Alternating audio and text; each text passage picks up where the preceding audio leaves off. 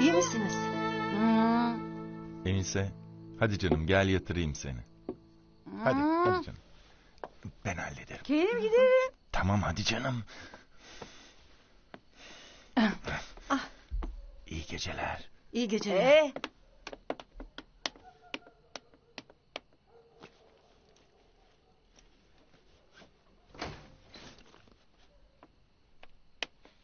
Uyudu mu? Hı hı.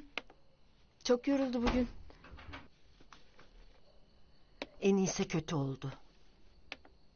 Çok da içmedi ama. Kafaya taktığı şeyler var tabii. İki kadeh bile çarptı. Ne gündü ama değil mi? Nasıl fırladın gittin öyle vallahi çok şaşırdım. Cemil'i ayakta gördüğümde nasıl şaşırdım bir bilsen. Tahmin ediyorum. Sayıp Bey önce görüştürmek istemedi biliyor musun? Cemil seni görmek istemiyor dedi. İçeri almıyordu neredeyse. Dinlemedim girdim. Bir de baktım ayakta. Gözlerime inanamadım vallahi. Aklımı oynatıyordum sevinçten.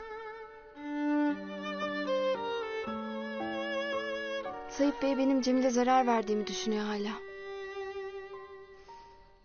Onun için uzak tutmak istiyor beni. Haklı adam. Ben de hep söylemiyor muyum sana? Senin ilgini yanlış anlıyor, ümitleniyor Cemil. Ne yapsın? Onun da elinde değil. Öyle anlamak istiyor. Kendinden pay biç kızım.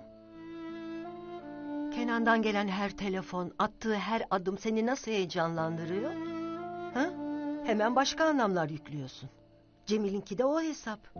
Anla çocuğun ruh halini işte.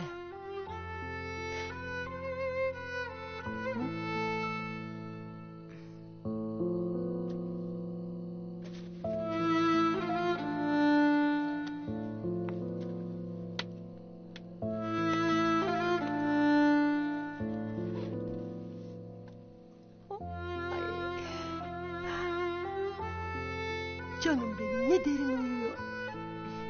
Kenan bu gece burada kalıyor. Yarın da beraber olacaklar. İyi iyi.